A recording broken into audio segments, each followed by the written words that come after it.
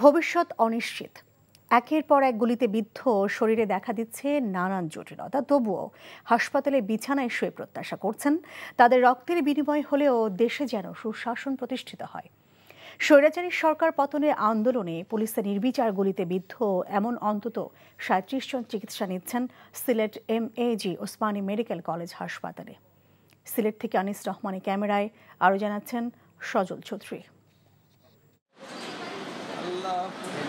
শরীর এফুড়োফুড় করেছে অন্তত চারটি গুলি। হাসপাতালের বিছানায় অসহ্য যন্ত্রণায় কাতরাচ্ছেন সিলেটের গোলাপগঞ্জ উপজেলার বাসিন্দা রুবেল আহমদ।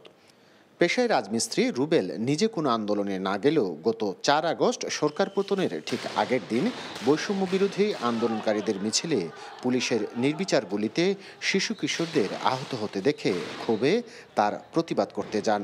এ সময় এক সহকর্মী গুলিবিদ্ধ হয়ে রাস্তায় লুটিয়ে পড়লে তাকে উদ্ধারে গিয়ে পেটে ও কোমরে গুলিবিদ্ধ হন রুবেল।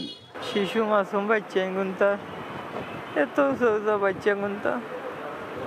তারার উপরেও ওতা ওতায় বুলেটে চিহ্ন ওর আগে খাম বাদ দিয়ে আমি আইলাম।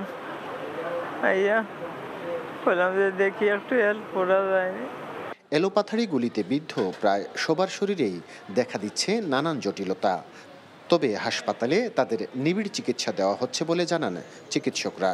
তাদেরকে আমাদের হসপিটালের পক্ষ থেকে সব ধরনের চিকিৎসা চিকিৎসা সরঞ্জাম এবং সব ধরনের পরীক্ষা নিরীক্ষা সব কিছু সম্পূর্ণভাবে ফ্রিতে প্রদান করা হচ্ছে এবং তাদেরকে কোনো ওষুধ যেটা হচ্ছে সরকারি সাপ্লাই নেই, তাদের জন্য আলাদাভাবে সেটা আনা হচ্ছে, আনানো হচ্ছে এবং তাদেরকে সেটা প্রদান করা হচ্ছে।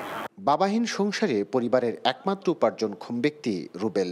বাড়িতে বৃদ্ধা মা ও ছোট ভাই বোনরা এখন অসহায়। তবু সব কষ্টের বিনিময়ে দেশটা যেন ভালো থাকে, দেশের মানুষ যেন ভালো থাকে, হাসপাতালের বিছানায় শুয়ে এমনই প্রত্যাশা তার। আমাদের কষ্ট দিয়াও যদি দেশটা ভালো চলে যায়, আমাদের মরিয়াও আমরা শান্তি। আমরা কোনো কষ্ট নাই, কোনো কষ্ট থাকতো নাই। বৈষম্য বিরোধী ও সরকার পতনের আন্দোলনে গুলিবিদ্ধ ও গুরুতর আহত অন্তত সাঁত্রিশ জন এখনও চিকিৎসাধীন আছেন Sylhet M A J Osmani medical college হাসপাতালে। Sajal Chhatri, NTV news, Sylhet.